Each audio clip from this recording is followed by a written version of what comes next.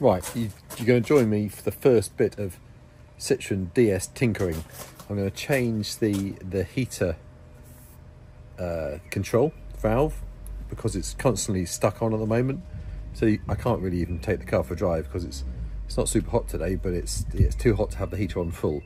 So um, it's a pretty straightforward job, I hope. Uh, so let's crack on with that. Here's the new one, the new valve. Um, this has got wax in it.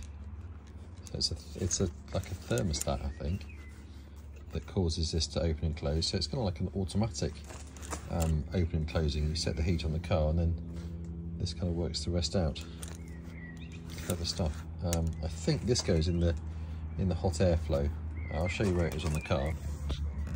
Uh, you can you can make out that that wire, which then sort of disappears down there. I think that must just go into the um into the vents, but I'll have a look when I pull it out. So it's just a case of disconnect the controls.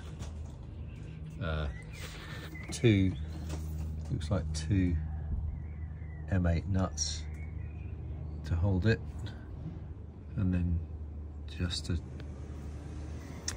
just undo that pipe. I've got some appropriate number of towels to put around it, so let's see how we go.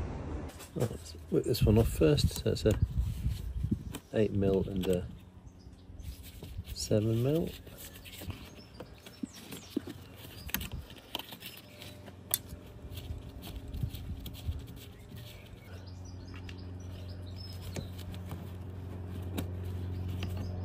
That's that off. Let's just uh, prepare for some spillage. Let's see if that's gonna play ball. Oh, I don't like the feel of that at all. That doesn't feel great. I'm gonna get a bit of plus gas on that.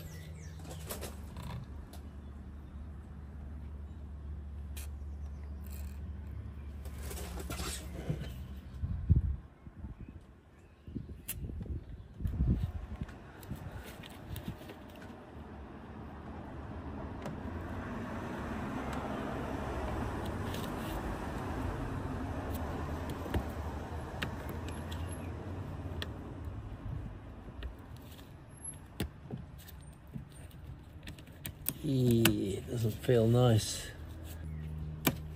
No, it's not great. That now makes the job a whole lot bigger. Yeah, always one. This side.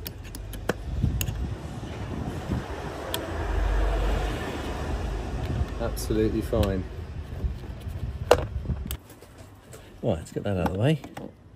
No, let's get, see if I can work out how this box comes out.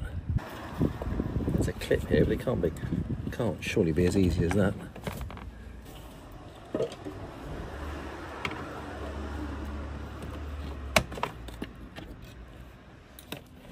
Huh, maybe it is.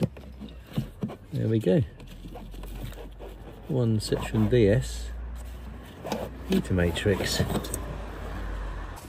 easy to get out. Just a real shame that that bolt broke. So that's obviously how it sits in there.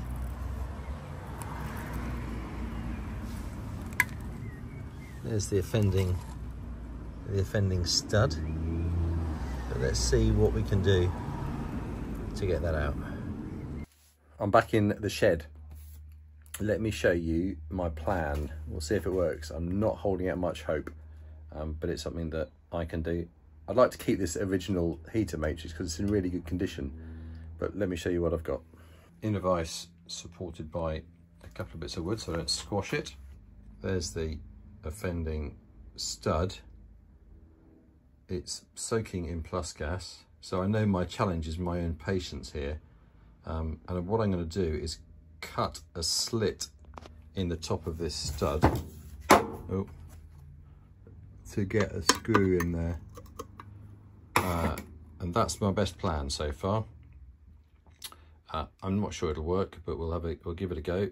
If not, it, this can go off to a guy I've used a radiator guy in Coventry, I'm sure he'll be able to maybe sweat that out and I can get it drilled out.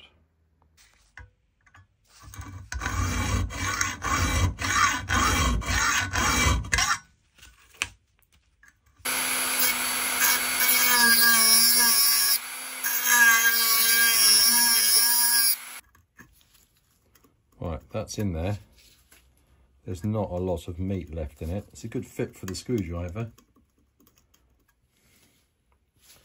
But I know what you're thinking. And you're thinking exactly what I'm thinking. That that is just going to twist off.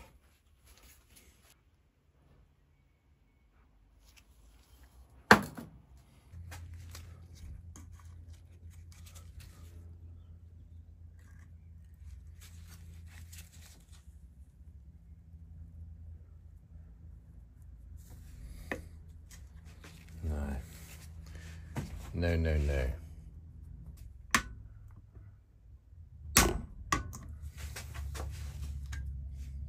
I think that just pushed in the, um, I think that just pushed that in.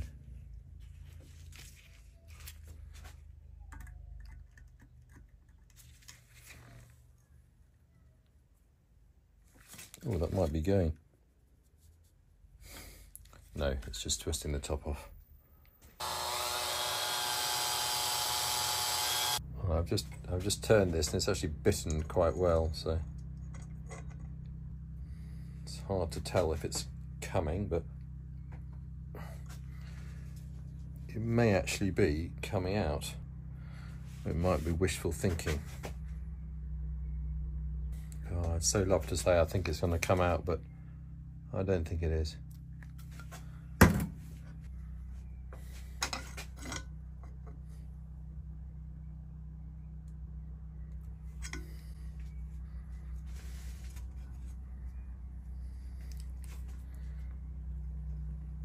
Right, I'm going to call that it for the day. I'm going to leave all this stuff here. I'm going to soak it in some of this. I'm going to try again tomorrow morning. Right, it's day two. I'm back in the shed to try and see if this, this nut will come out of my Citroen DS heater. Ah! Bollocks. There you go. It's just got worse. Right, I'm just on my way to collect the radiator heater matrix for the DS from J&J Radiators in Coventry. Uh, they are, they've taken a useless one, or two useless ones, and made one good one by swapping over the plate that the heater valve sits on. Um, the fee for this is 15 pounds. One five pounds. So it's um you know the, the fuel for me to go and get it is probably going to cost me more than that as I've chosen to go in the Range Rover which I was just thinking when I jumped into it is is a when it's working it's a haven of peace and tranquility. A little bit like the DS if you're not trying to drive it too fast. So I was just thinking if you want um, two classics in your life then oh my god the potholes on this road are awful um, yeah, get a 322 Range Rover and a Citroen DS because they're both very similar, e tranquil experiences. Okay. So what, what have we got, Dave? So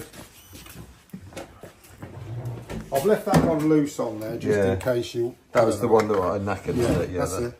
Yeah, And then that's great, and I have tested it off as well. brilliant. So it's tested off and flushed it through, so it's okay. Yeah, well, it, it was constantly being flushed through Yeah. because it was it was the valve was knackered. So, yeah, brilliant. Thank you. The DS heater matrix is ready for a refit, but before I refit it, I thought I'd see if I could work out how um, how clogged up the one that I bought was, and I thought I'd weigh them. So have a look at this. Now this decent one, which I know is decent because it has water flowing through it all the time. 700, uh, 800 grams, call that. This one, that was reportedly good, is another 50 grams heavier. So that has got 50 grams worth of crud inside it. So if you've got one of these, you get the water out, and you want to know what sort of condition it's in, it should weigh about 800 grams if it's clear. There you are. I've put the valve back on. This, this foam around here is just to stop the hot air entering the cabin when you when you don't want hot air entering the cabin. So that's gone in pretty well, which is good. Not only have I got the retaining strap, but I've also got a the uh, how old are we? 52 year old piece of um, felt or whatever it is that will go, I think, over over there. Yeah, that looks all right, right? Which is exceptionally good for my OCD. Well, not that I have it, I don't think. Who knows? Oh, that's the that's the matrix back in. Just got to split this pipe, put the inlet, I guess, back on here, and the outlet back on the on the valve end. And that should be that job done. Right, we've done a test ride in the D. Um, this is all working perfectly. There's no leaks from anywhere, so the heater is all done. Thanks for watching this short video, well, probably longer than I was expecting video on uh, on fixing the D heater valve. Um, it's been a little bit of a journey, but all good fun. And join me again for the next piece of D mechanicking. See you soon.